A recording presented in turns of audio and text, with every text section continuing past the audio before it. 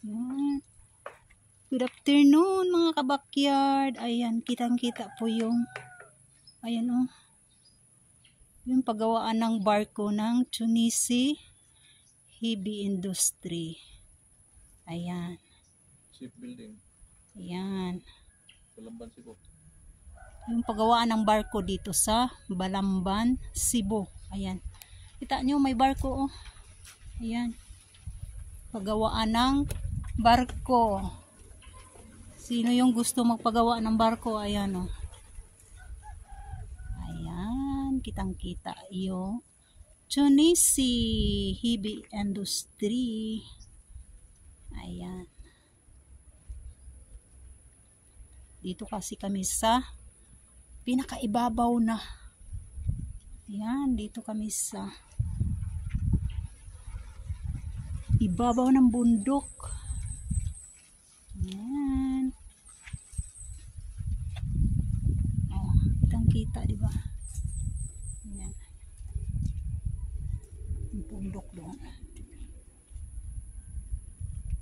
Oh, ayan.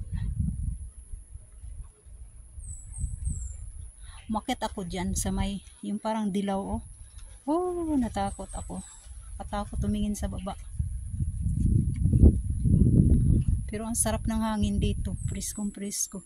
Mainit ang lugar. Pero parang hindi mo maramdaman yung init. Kasi yung hangin malamig. Kasi maraming, ano, maraming puno. Ayan. Maraming puno ba? Ayan. At may swimming pool pa nga doon sa baba. Ay, kita, kita nyo sa baba. Ayun, may swimming pool. Ayan, may swimming pool sa baba. Ha? Ayan. Hindi na kami bumaba doon. Uy. Titingnan ko nga. Dito. Ayan. Ayan. Ayan, yung swimming pool.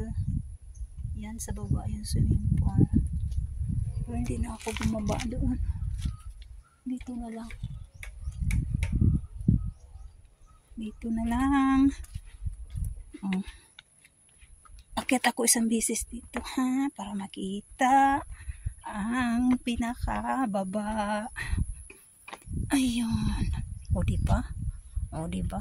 O, nasa taas na ako. O, kitang-kita na doon. Ayan, kitang-kita na yung barko. Ayan. O, tingnan nyo sa baba.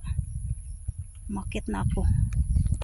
Ah, diba? Kitang-kita. O. Ayan.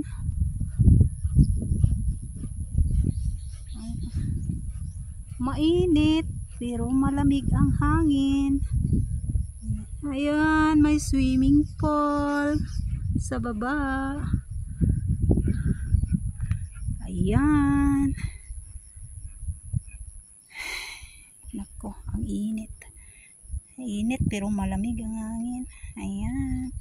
Thank you for watching mga kabakyard. Please like, share, and comment.